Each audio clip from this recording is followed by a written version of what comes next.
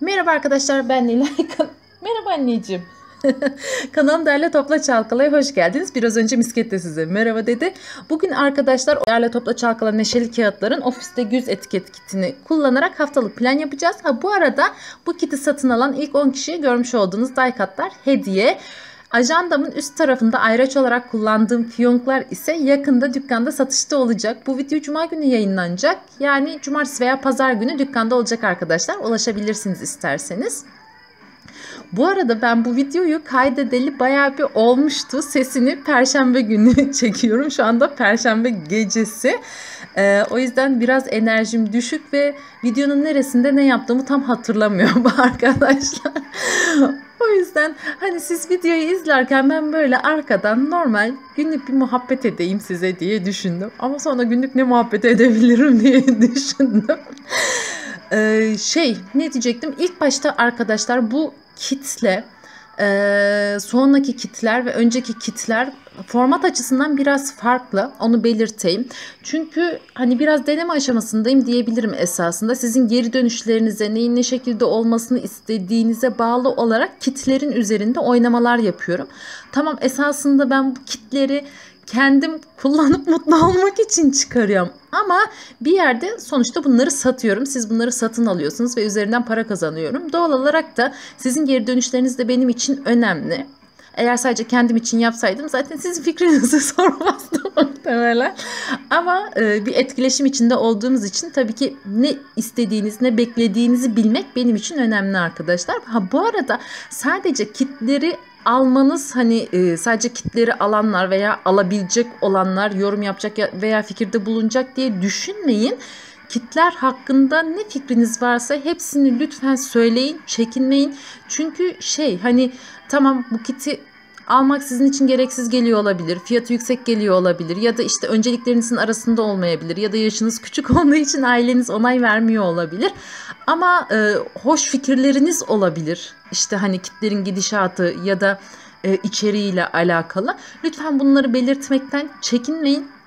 Çünkü inanın ki hepsini tek tek okuyorum. Yorumlarınızın büyük bir kısmına cevap veremediğimin farkındayım. Bunun sebebi ise yeni bir şehre taşındım biliyorsunuz. Çok fazla işim vardı. Bunun yanı sıra hastalıklar pek peşimizi bırakmadı. Daha doğrusu hastalıklarla boğuştuk diyebilirim. Çünkü buraya taşınmadan önce sağlamdık ama buraya taşındıktan sonra dökülmeye başladık eşimle ben de. Herhalde yorgunlukla birlikte böyle yavaş yavaş hava değişimiyle birlikte vurdu bizi.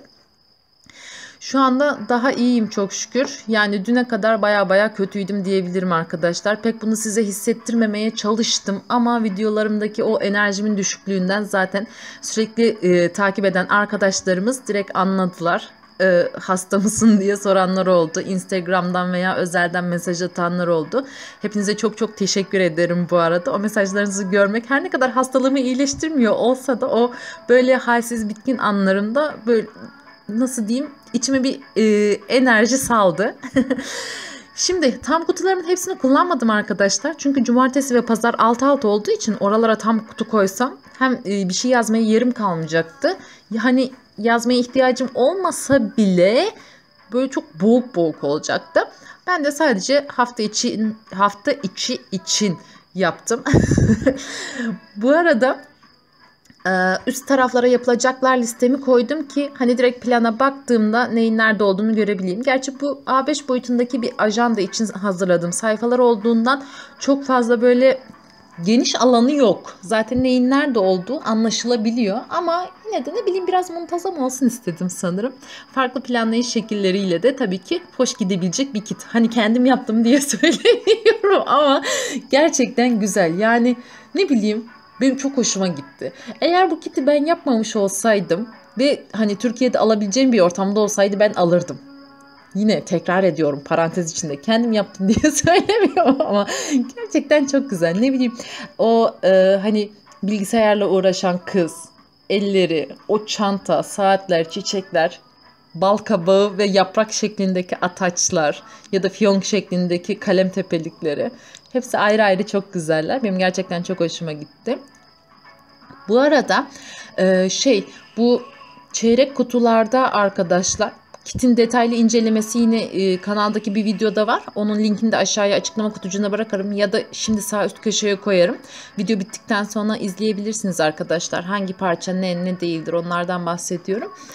Şey ne diyecektim? Ha, çeyrek kutuların hepsi düz değil. Kimileri böyle simli. Simli efektli daha doğrusu.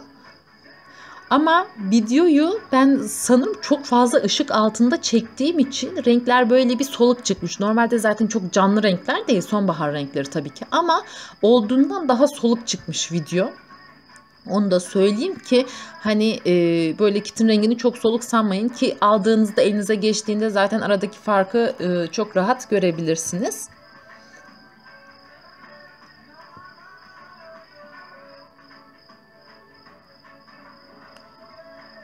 Ha bu arada bunun haricinde ha bu arada ha bu arada tabii ki bunun haricinde arkadaşlar 2 3 tane daha kitimiz 2 tane daha mıydı? Bir minimal bir var.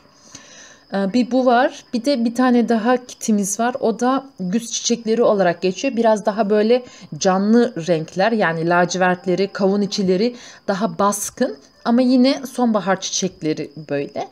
O da benim çok hoşuma gitti. Daha doğrusu hepsi hoşuma gidiyor değil mi?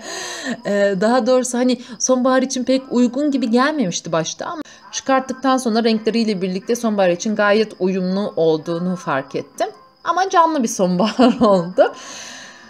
Onunla ilgili de bir plan videosu ileriki zamanlarda gelecek. Ee, bu sıralar şeyin üstünde çalışıyorum ki yavaş yavaş zaten sonuçlanmaya başladı. Instagram'da yine şey yapmıştım. Cadılar Bayramı ile alakalı bir kit yapacağımı söylemiştim ki cadılar falan böyle bayılıyorum korkunçlu şeylere biliyorsunuz. Ee, hani bullet journal kitim yapayım yoksa normal ajanda kitim yapayım diye sormuştum neye göre hani ağırlıklı cevap verirseniz ona göre hazırlayacaktım. Çünkü gerçekten arada kalmıştım. Ve siz de sağ olun 36 kişi Journal'la 36 kişi de normal kite oy vermiş. %50 %50'de kalmış. Hiç yardımcı olmadınız. Mecburen hal böyle olunca da ikisi içinde ayrı kit yapmaya karar verdim. Doğal olarak da biraz daha yoğun. Bullet Journal kiti biraz daha erken çıkacak. Birkaç gün önce çıkacak. Gelecek hafta çarşambaya yani ayın kaçı oluyor bilmiyorum. İkisi, üçü, dördü o arada bir şey. Çarşamba günü arkadaşlar o e, kitin tanıtımını yaparım.